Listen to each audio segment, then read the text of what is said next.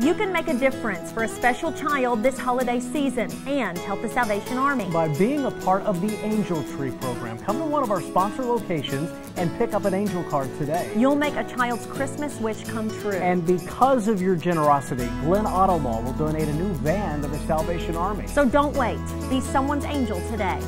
Sponsored by Glenn Auto Mall, Whitaker Bank, Fayette Mall, News Talk 590 WVLK, and LEX 18.